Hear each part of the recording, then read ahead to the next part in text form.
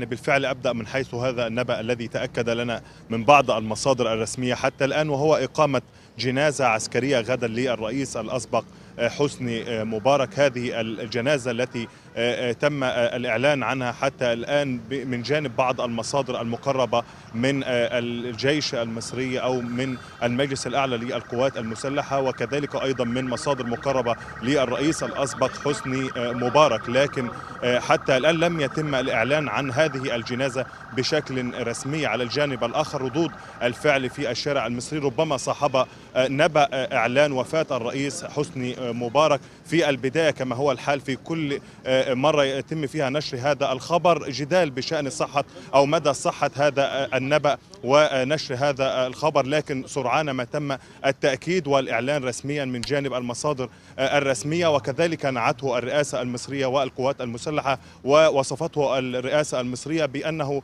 أحد أبطال الحرب السادس من أكتوبر التي أعادت العزة والكرامة نظرا لأنه كان يتولى قيادة القوات الجوية. وكذلك نعته القوات المسلحة المصرية وصفته بأنه أحد أبناء القوات المسلحة المصرية في الشارع المصري وبين الأوساط السياسية وعلى مواقع التواصل الاجتماعي.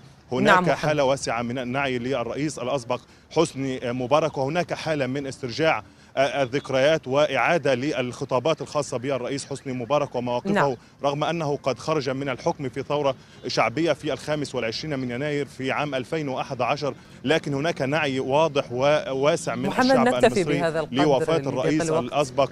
نعم. شكرا جزيلا لك محمد الحمراوي مراسل الغد كنت معنا من القاهرة.